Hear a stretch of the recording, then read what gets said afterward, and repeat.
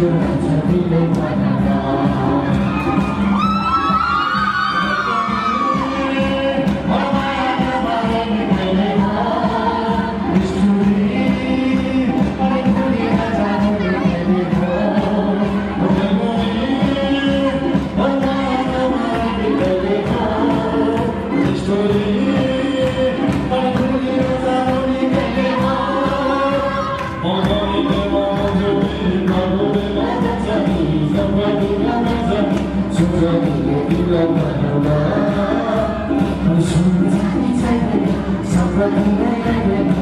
나의 빛으로 빛나가라 나를 가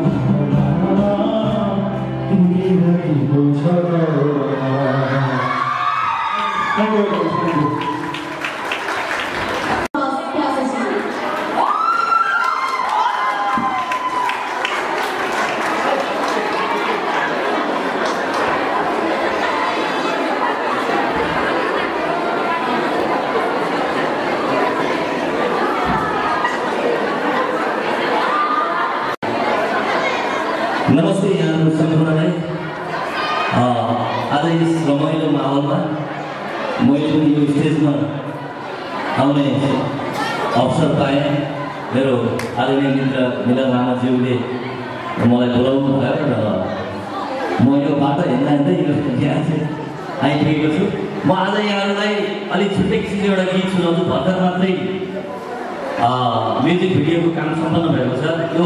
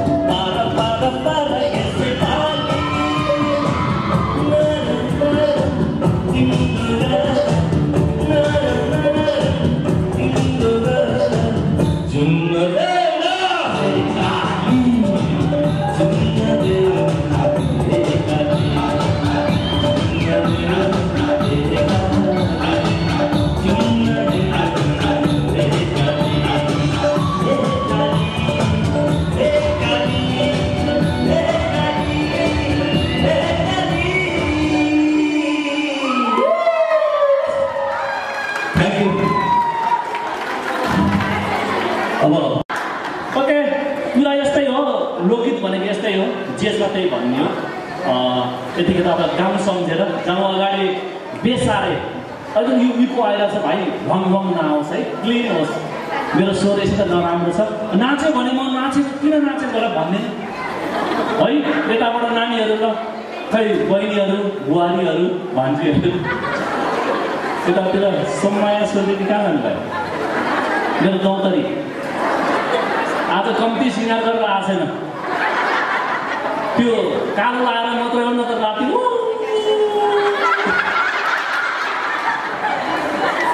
ok 没事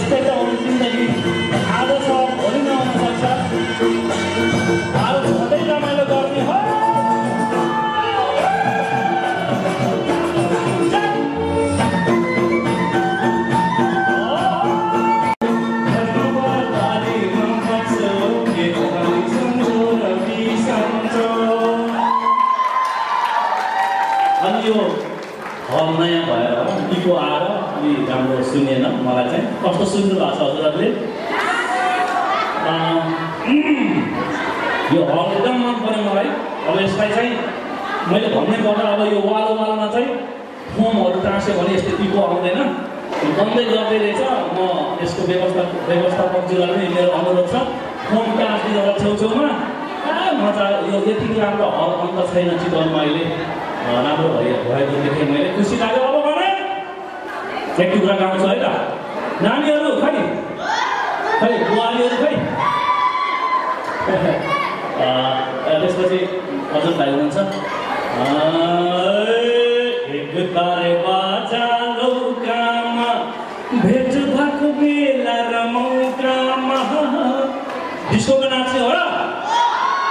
छैन छैन। सबै पर पर गइसक्यो सेलाइसक्यो त्यसैले अब तैपनि म एउटा कोसिस गर्छु एउटा गीत छ। कहिलेकाहीँ हामी कलाकार हो कहिले केटै केटी केटाकेटी मात्रै भएको ठाउँमा पुग्छौँ कलेजतिर। त्यहाँ पनि आफ्नो पेसा फस्किनै पर्छ। दुई पैसा आउने बाटो भनेको यही गीत गाएर मात्रै हो। त्यसैले स्टेजमा मात्रै अरूबाट आउने ठाउँ छैन। सबैको मनको इच्छा बुझाउने कोसिस गर्ने हो। कालो लुगा लाउने ग्याङहरू नानी उठ अब डिस्को कम डिजे तार नयाँ गीत छ मेरो यो यसमा म प्रयास गर्छु सबैको मनमा इच्छा